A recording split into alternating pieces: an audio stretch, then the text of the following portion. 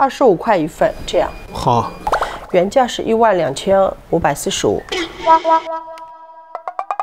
没折扣吗？有的呀，给你打个九折。那不还是要一万多？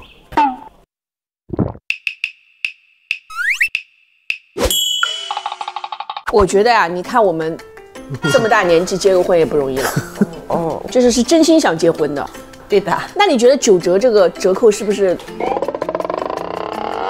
高了一点，对呀、对我们的诚意来讲，对吧？但是你觉得这些都是很好的，很精致的。但是漂亮也可以，就是价格再低一些。低一些的话可以啊，到时候别到时候了，我们今天就算账对对对来算账的。最低也就八八了，应该。我们这个东西，我们这个东西报价不高的，肯定真的我跟你说，现在。我就是非常成熟了。以前像我二十多岁结婚啊，我去肯定让他五折的。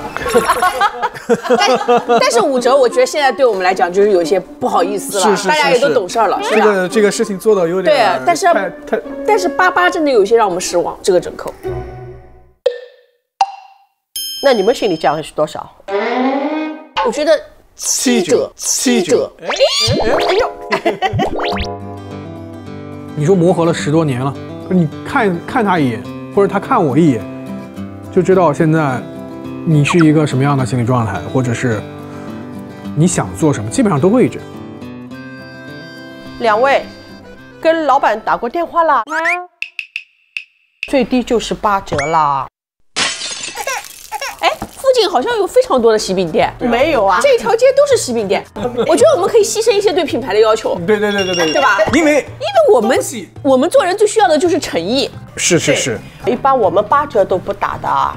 哎呀，我都说了，附近还有几家像样的喜饼铺再，去看一看。没有，这边没有太多的。那我们就叫个车去远一点。对对对对对，我出了这个门，我们的缘分就尽了，姐姐。真的的，不然不行。人生的缘分就是需要你不停的去珍惜的。